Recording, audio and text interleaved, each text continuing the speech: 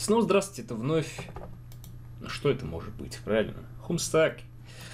А, да, в этот раз следующие два эпизода, ну, вот этот и следующий, будут а, без вебки, потому что... Потому что все очень просто. Я не мылся, наверное, дня 3 или 4, потому что операция и нельзя мочить палец. Нет, я, конечно, могу голову помыть, да, сказать. Короче, неважно. я хикую. Не, нельзя меня осуждать.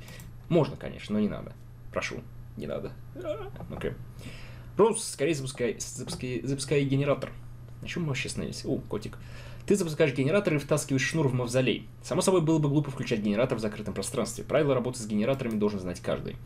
К сожалению, я не знаю. Извини, Джасперс, для... Классный код. Для ноутбука нужно место.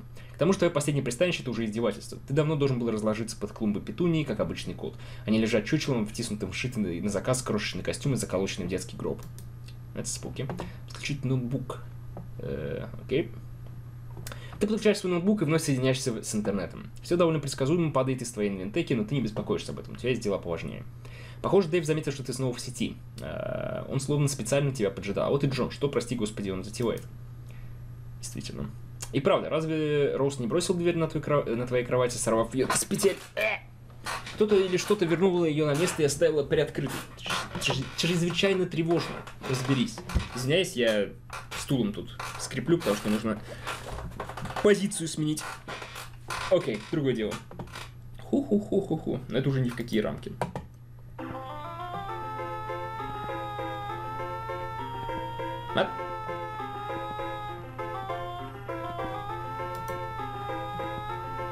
Я не знаю, в чем суть. Э, окей. О, вот и ты. Джон сказал, что твой дом горит, ты уже в огне или что? Нет, в настоящий момент... Нет, знаете, так будет он все время скрипеть. Сяду нормально. Джон сказал, что, что твой дом горит, уже в огне или что? Нет, в настоящий момент я нашла убежище в небольшой постройке, что намного ближе к лесному пожару, угрожающему моему дому. О, ладно, это успокаивает. Джон просил эм, достать игру, чтобы я помог тебе, так что я работаю над этим. Работаешь? Ну да, копия, бро, копия, бро, долгая история. Эй, не говори Джону, но я думаю, что, наверное, он был прав насчет кукол. Они типа меня пугают, мальца. Ты имеешь в виду коллекции твоего брата? Я о том, я о том, типа... Чего? Я о том, типа, не пойми меня неправильно, это все круто и вообще, это полуироничная фишка с куклами и все такое, или полуироничная я ну тупо не знаю. Мне просто кажется, вся эта хуйня далековато зашла. И, походу, она мальца ебанутая. А, я видел его веб-сайты, они мне нравятся. Ха-ха, ну а то. Бля, если только малыш Кэл на меня так и не, так не пялился своими мертвыми глазами, боже. Иногда мне снится, что он настоящий разговаривает со мной, тогда я просыпаюсь в холодном поту и тупо выпадаю на, на стрём. А? Любопытно. О, блин, нафига я только что рассказал тебе твой сон? Ты теперь точно меня этим затроллишь. В данный момент я неистово строчу абзацы текста в одной из многих моих заведенных на тебя психо психоаналитических досье, опубликую на днях.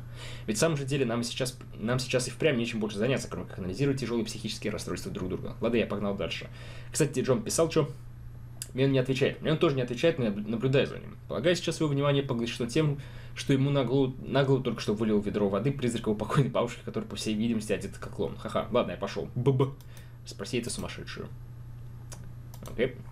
Спарталог. Это что-то новое. Э, бабуля, угадал, дорогой. Ох, да я чуть не родил от испуга. Ху-ху-ху. Да уж, по мне так твоя шутка удалась. Отлично сработана, бабуля. Кстати, ты действительно моя мертвая бабушка? Конечно, Джон. Я вернулась, чтобы помочь тебе в путешествии сквозь медиум и выше. Я рада видеть, каким замечательным молодым человеком ты стал весь в отца. Окей, поверь тебе на слово, я вообще тебя не помню. Папа сказал, я был совсем маленький, когда ты умерла. И, кстати, ты не в курсе, где он сейчас? Я его обыскался. The fuck? Батя. Твоего отца похитили. О нет.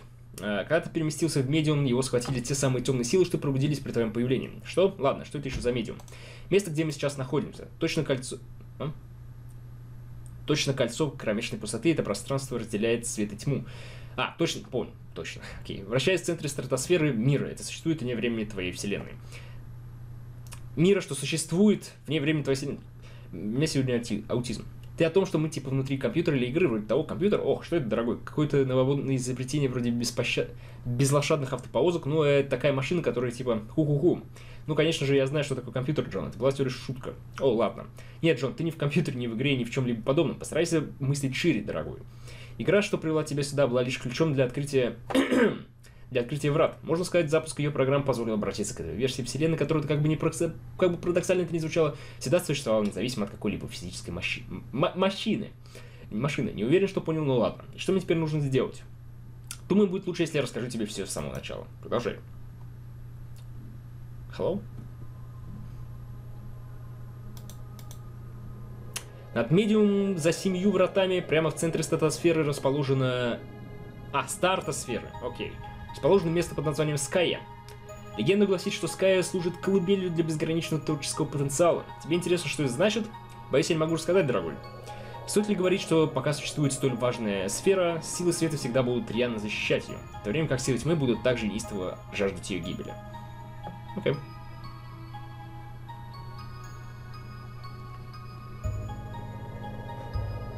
Окей, музычка, я понял.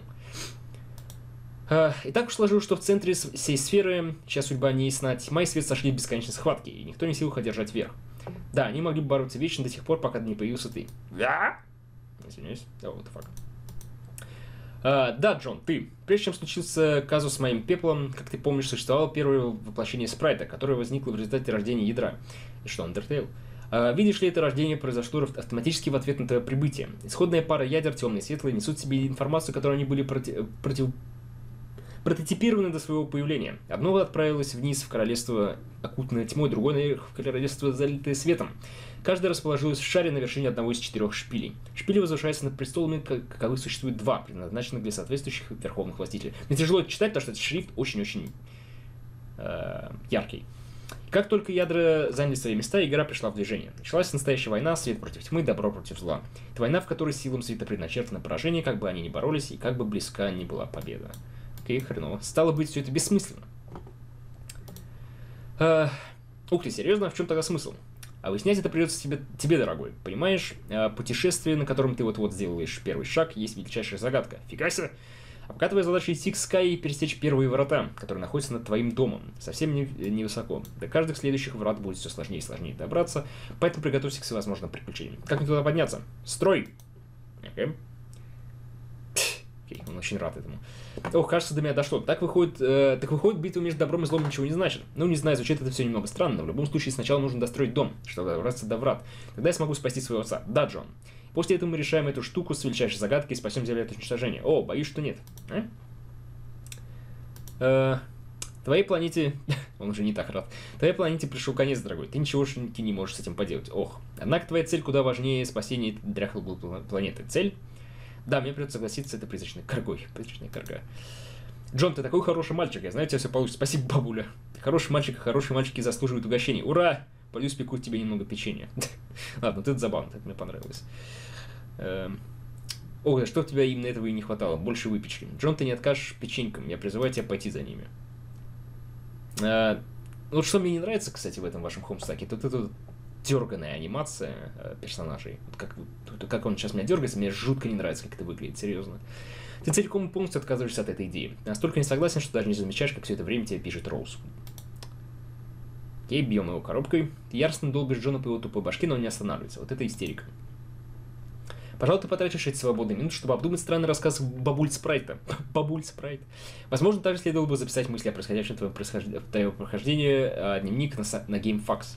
Трудно выкроить хоть немного времени на его обновление. На самом деле, ты не уверен, когда вообще успел написать то, что уже есть. Окей.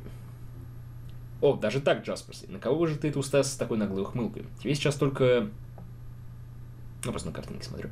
Тебе, тебя сейчас только дерз... Дерз... Тебе сейчас только дерзящих мертвых котов не хватало, учитывая, что ты в этой переделке почти полностью по его вине, ему бы лучше промолчать тряпочку. Джон, печеньки сейчас же. Раз и навсегда ты отказываешься. Просто невероятная наглость. Быстро за печеньками. Раз уж ты так вежливо попросил, может ли Джон отказать? Джон, ты идиот. А, тебе действительно стоит поработать, поработать над своим манером. Глупый тупой тупица. Это даже не приказ, это чушь, дебилизм. Ты, да, ты, да и ты сам дебил. Последний раз я приказываю тебе идти за печеньками, парень. Этого никогда не произойдет, приятель. Спустя годы в будущем. Окей. Последний раз я приказываю было, но не настолько далеко, как могло бы показаться, дрожащий пальцы оскальзывают в середине, в середине строки. Окей, что у нас там? Окей. Бобы, горчица, человеческий этикет. Окей.